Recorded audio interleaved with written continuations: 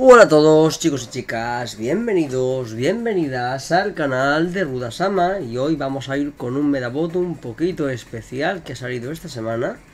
Es este Medabot de aquí, el modelo Ali03 y bueno, es un Medabot que me han recomendado bastante, es un boss de un juego de Medabots 9 y bueno, vamos a comentar un poquito como siempre su diseño, sus estadísticas y sus habilidades en este juego Vamos a verlo un poquito aquí más de cerca. Y bueno, pues vamos a, ver un poquillo qué, papel puede desempeñar o, qué se puede hacer con él y bueno, un poquito cómo van las piezas, ¿no? Bien, eh, bueno, para empezar el diseño, a nivel de diseño es un poco raro, eh, pero muy raro, no sé, está como un poco deformado. Esto siempre me llama la atención. No me parece feo, pese a que es estéticamente feo, no me parece tan feo, no sé, tiene la cabeza un poco, me recuerda un xenomorfo o algo así. Mm, parece que sea medio, medio máquina, medio ser vivo, medio androide, no lo sé.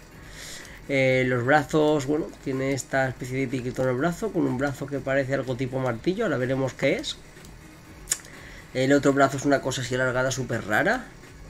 Y bueno, lleva pues es una especie de, de en la cabeza o algo así. Y las piernas pues eh, lleva como una pierna de androide y otra pierna como que es, que es en realidad una mano, es como una mano. O sea, básicamente, no sé, es una cosa eh, muy curiosa. Y bueno, no sé, no sabría describirlo. A mí me, me parece chulo, pero, pero me parece feo a la vez. Es una cosa un poco extraña, ¿no?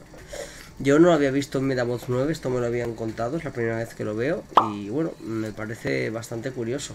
Lo había sí que visto en alguna especie de mod o algo así, que pasara alguna vez alguna foto y no me lo imaginaba tan, tan así, no sé, es un poco curioso. Por cierto, esto de la cabeza parecen dientes y parece que sea una calavera con un ojo, con la boca abajo, no sé, un poco raro. Vamos a ver un poquito qué es lo que hacen las piezas. Bueno, vemos que el Medabot es, un modelo que actúa tanto como masculino como femenino. Y por otra parte, pues vemos que tiene ataques físicos en cabeza y el brazo derecho y ataque de disparos en el izquierdo. Vemos que las piernas son de tipo levitación y que bueno, tiene tres, requiere tres partes de HV, por lo tanto es un Medabot que es un poco complejo de cambiar si quieres mantener este, este HV en el, en el Medabot, ¿no? Eh, es curioso también que para una pieza de levitación tenga estos tres HV. Normalmente las suelen tener piezas pesadas como los tanques y cosas así. No se suele ver tanto, o artrópodos, no se suele ver tanto en, partes voladoras. Es curioso. Pero bueno, mm, ahí está un poquito el, cómo es. Y bueno, eh, vemos ahora el nivel. Bueno, la armadura es una barbaridad. Casi 6000 de armadura. Esto lo podemos subir tranquilamente con chips a 7000 y con, bueno, entre el entrenador y la medalla podemos estar hablando de 8000 de vida tranquilamente. Es una barbaridad, es el nivel de vida que tienen los medabots del X-Trail, que es el, eh, eh, bueno, los, tipos de donde se sacan los banners para conseguir eh, distintos logos como que has vencido, bueno, títulos como que has vencido algún medabot. Pues una vida similar a la que tienen muchos allí, es una barbaridad. Eh, bueno, vamos a ver en el evento cuando, cuando lo haga qué tal, pero, pero va a ser una locura la de vida que tengan ahí, ¿no? Porque si ya de base tienen tanta. Luego vemos que tiene un nivel de precisión decente, ya esto no es tan alto, es un nivel decente, mm, pero bueno, con esto tampoco, pues bueno, va, a acertar lo suficiente, a menos que sean piezas con mucha evasión. Un nivel de potencia que está bien, no es tampoco muy alto. Un llenado bajito y un enfriamiento mucho más bajo con un número de usos de 3, pues vamos a ver un poquito qué es lo que, lo que hace, ¿no? Y bueno, la habilidad que tiene en la cabeza es un poco curiosa, se llama como algo así como eh, muerte por roca o death rock, queda mejor en inglés que en castellano. Y bueno, básicamente lo que nos dicen es que es un ataque de lucha que reduce el llenado y el enfriamiento de todas las partes un 25%, entiendo que las del rival, y imposibilita eh, la defensa o la evasión de este. O sea que, bueno, la verdad es que está bastante bien. O sea, lo hace más lento, cosa muy interesante para muchos combates. Y además evita que se pueda defender o evadir el ataque. Por lo tanto, lo hace más vulnerable. Y bueno, luego dice que no se puede proteger durante el enfriamiento después de su uso, ¿no? Una vez usas el ataque, por detrás pues te pueden dar. Y recordad que el enfriamiento es lento, aunque rango 5 nos sube llenado y enfriamiento en 200 puntos, pero aún así sigue siendo lo bastante lento como para que tengáis que tener, o sea, tenéis que tener mucho cuidado a la hora del enfriamiento, que, bueno, tenga algún otro medabot protegiéndole. Aunque, repito, que con esta cantidad de vida no creo que lo maten a la primera por detrás. Tiene mucha fuerza. Vemos la parte del brazo derecho. Vemos que es una parte pues ya con un nivel de vida más normalito, 3199. Ya no es eh, la locura que tiene en la cabeza. Tiene una precisión decente y una potencia altísima. Ahí la potencia sí que me, convence mucho, aunque lo compensa teniendo un llenado y un enfriamientos bajos pero bueno, también te puede ayudar con esta precisión a que golpes al rival cuando esté durante el enfriamiento, ¿no? Y bueno, vemos un poquito qué características tiene. Y vemos que básicamente nos dice que es un ataque de lucha que aumenta la potencia eh, en un tanto por ciento, pues dependiendo del valor actual de la meda fuerza y el rango que tengan las piezas. Eh, tiene un efecto penetrante y por último pues no se puede proteger durante el enfriamiento después de usar la pieza. A rango 5 lo que nos hace es calcularnos ese valor de media fuerza actual por 150, que está muy bien, y además nos añade el efecto de que ignora la defensa del rival sin reducción del, daño debido a la defensa del oponente, ¿no? Entonces, bueno, pues nos va a hacer que pegue mucho más fuerte y además, eh, bueno, además va a hacer que el, rival pues no pueda, no pueda defenderse, ¿no? Le, ignora la defensa y le golpea sin que se reduzca daño. Esto para tanque eso puede estar muy muy bien. La verdad es que es una barbaridad. La contraparte es de disparo. Esto no me gusta mucho porque te obliga a usar medallas mixtas o cambiar una pieza, eso sí, y es un poco más complicado al requerir 3 HV para, para que las mantenga.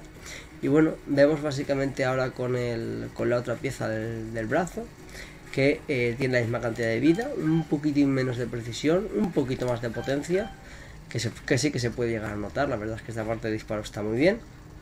Y bueno, un lleno de enfriamiento que también son muy bajos. Cuando llega a ser tan bajo la diferencia se nota el mínimo. Y bueno, en la habilidad vemos básicamente lo mismo, ¿no? Nos dice que, que, el, ataque, en este caso, en vez de, de ataque físico, nos dice que es un ataque de disparo, que aumenta la potencia un tanto por ciento, pues dependiendo del valor actual de la media fuerza y el rango de las piezas, ¿no? Tiene un efecto penetrante, igual que en el otro brazo, y eh, no se puede proteger durante el enfriamiento después de su uso. A rango 5 nos dice básicamente que usa la media fuerza actual por 150, como en el otro caso, y que añade el efecto de ignorar defensa, ignorando la reducción de daño por parte del oponente, pues cosa que está muy bien. Vamos, que va a pegar, va a pegar muy hermoso. Y por último tenemos aquí la parte de las piernas. Las piernas tienen otra vez un nivel de armadura enorme, casi 5000, es una barbaridad, es genial. Eh, la defensa física, y sea daño físico y daño disparo, es decente. Decente empezando a tirar hacia bien. Es verdad que no es una defensa tan alta, pero es que no es un Medabot que tenga piernas de tanque. O sea, es una barbaridad. El nivel de armadura con esto va a resistir bastante. Encima tiene un nivel de evasión decente tirando a bien. Y una carga fría bastante alta. Es un Medabot que en sí pues tiene estadísticas muy altas y poco equilibradas a la, mitad, sino que son tienen tendencia a la alta, ¿no?